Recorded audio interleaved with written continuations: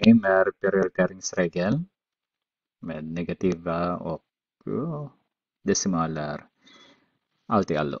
Okej, okay, vi börjar med den här med parentesen. Så vi har 3 multiplicera med negativ. Ne det är upphöjt till 2, så det måste vara negativ med negativ. Det måste vara positiv nu. Sen 2 multiplicerar med 2 är ju 4, så 0,04. Och sen vi har 4 multiplicerar med 2 är ju 8.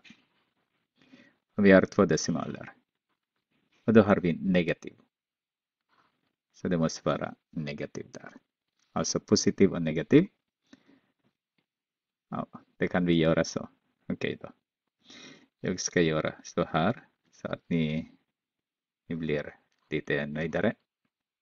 Så. Och de intill varandra är ju positiv och e negativ så blir det negativ då. Så har vi 3 multiplicerat med 4 är ju 12 så har vi 0,12. Det är fortfarande två decimaler. Och där jag subtraherar med 0,08 så är det 0,04. B. Vi börjar den som med i parentes igen.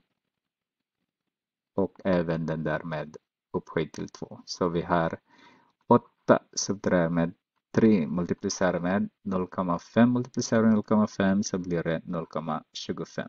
5 multiplicerar med 5 är ju 25. Men vi har två decimaler. Okej. Okay.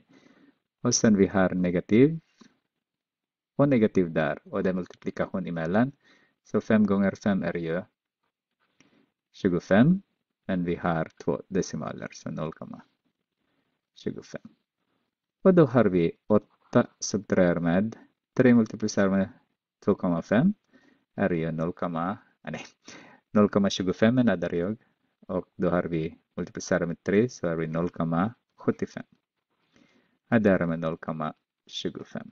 Så har vi eh, vad blir det? 7,25. Och där med 0,25. Då har vi 7,5.